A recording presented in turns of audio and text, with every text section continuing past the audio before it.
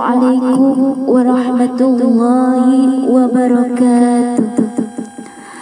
الحمد لله رب العالمين والصلاة والسلام على أشرف الأنبياء والمرسلين سيدنا ومولانا محمد وعلى آله وصحبه أجمعين. أما بعد. Sahabatku seiman seagama Pentingnya akhlak dalam setiap pergaulan Apa yang dimaksud akhlak itu? Akhlak berasal dari kata bahasa Arab khulu yang artinya wata, tabiat, perangai, tingkah laku, budi pekerti atau kebiasaan. Akhlak dalam Islam diartikan sebagai perangai atau tingkah laku yang melekat dalam diri seseorang yang dilakukan serta dipertahankan secara terus-menerus. Akhlak dalam Islam dibagi menjadi dua. Yang pertama, akhlakul mahmudah atau akhlak terpuji. Yang keduanya akhlakul madmuma atau akhlak tercela. Mengapa akhlak itu begitu penting? Dalam hadis Rasulullah sallallahu alaihi wasallam bersabda, "Innama bu'istu liutammima makarimal akhlaq."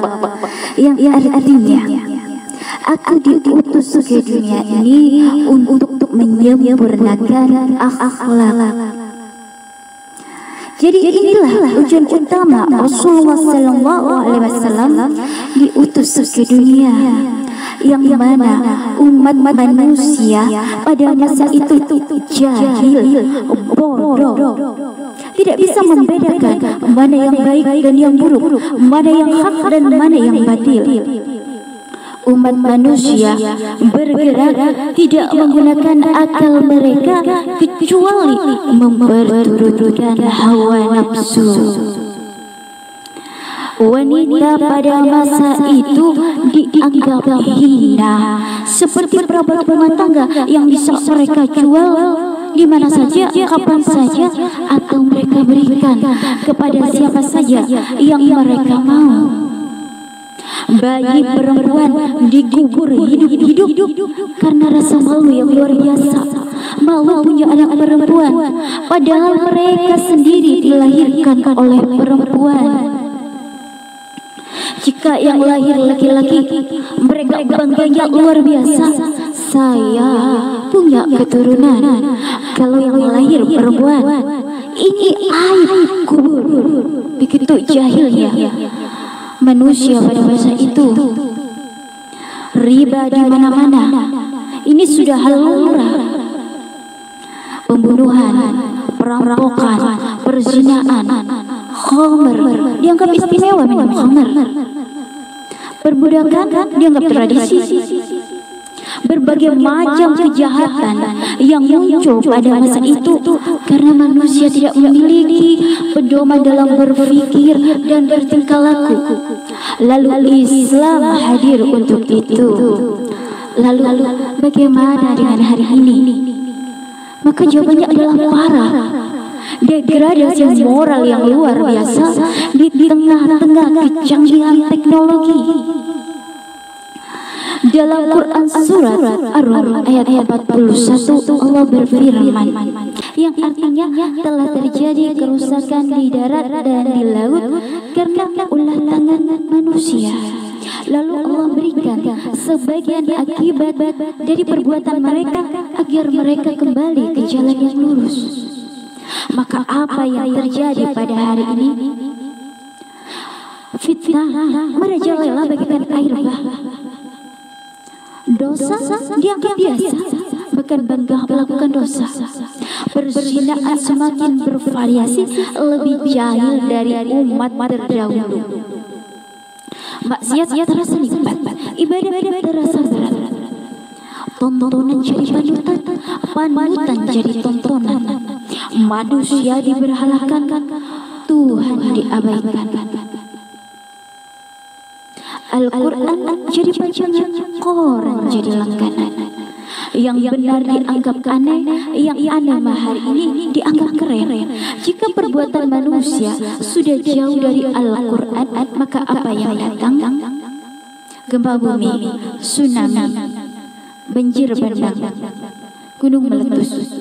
Jika tangan manusia usil suka buang sampah ke sungai ke kali akibatnya banjir jadi langganan. Jika manusia suka tebang pohon di hutan tanpa berhitung-hitungan akibatnya banjir bandang tanah longsor. Jika tangan manusia serakah akibatnya lumpur lapindo.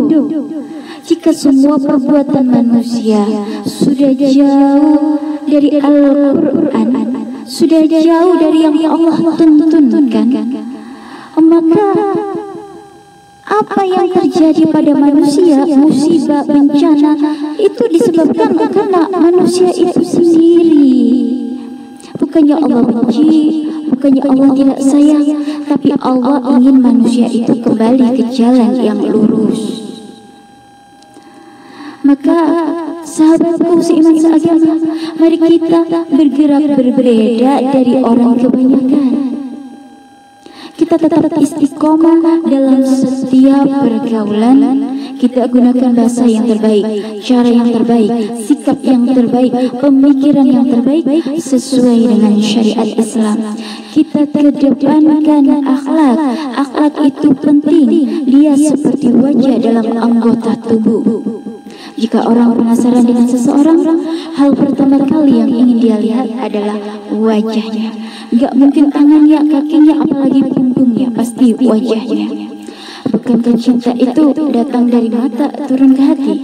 Jika akhlakul karimah itu adalah wajah Islam, maka begitu banyak orang masuk Islam berbondong-bondong bahkan serentak di barat, di timur, di Eropa, di Afrika karena terpikat oleh akhlak seorang muslim. Jika pemeluknya saja indah perangainya, apalagi agamanya. Itulah yang ada dalam benak seorang mu'alaf yang masuk Islam karena kebaikan akhlak dan dan inilah yang dicontohkan oleh sebaik-baik suri tauladan Rasulullah Muhammad sallallahu alaihi wasallam dalam menyebarkan Islam di seluruh dunia. Lalu bagaimanakah akhlak yang baik itu? Engkau memperlakukan orang lain seperti engkau ingin diperlakukan, menghormati, menghargai, sopan santun, ramah tamah, jujur, amanah, dapat dipercaya, bertanggung jawab, dan tidak berburuk sangka. Siapa orang yang baik akhlaknya, itulah orang yang mulia. Baik menghidupkannya di dunia, terlebih-lebih di akhirat. Dalam beribadah perlu akhlak. Dalam menuntut ilmu perlu akhlak. Dalam memilih pasangan perlu akhlak. Dalam bergaul perlu akhlak. Dalam bekerja perlu akhlak. Bergaul dengan orang tua pakai akhlak. Dengan anak pakai akhlak. Dengan yang lebih muda pakai akhlak dalam berdagang pakai akhlak, dalam berpakaian pakai dalam pemerintahan pakai akhlak, dalam segala sendi kehidupan akhlakul karimah harus diterapkan. Rasulullah Sallallahu Alaihi Wasallam bersabda, sebaik-baik umatku adalah yang baik akhlaknya. Jika kita ibaratkan akhlakul karimah itu seperti bunga-bunga yang menghiasi dalam taman yang mengundang banyak orang agar datang mengunjunginya. Jika sebuah keluarga menerapkan akhlakul karimah di dalam rumahnya, tidak ubahnya seperti surga beserta penghuninya. Maka mari saudara-saudaraku, sahabat-sahabatku seiman seagama, kita menjadi pemuda-pemudi yang berakhlakul karimah agar ridha Allah pada kita bahagia di dunia akhirat selama-lamanya. pergi ke pasar membeli durian. Maafkan atas segala kesalahan. Jazakumullah khairan katsiran. Wassalamualaikum warahmatullahi wabarakatuh.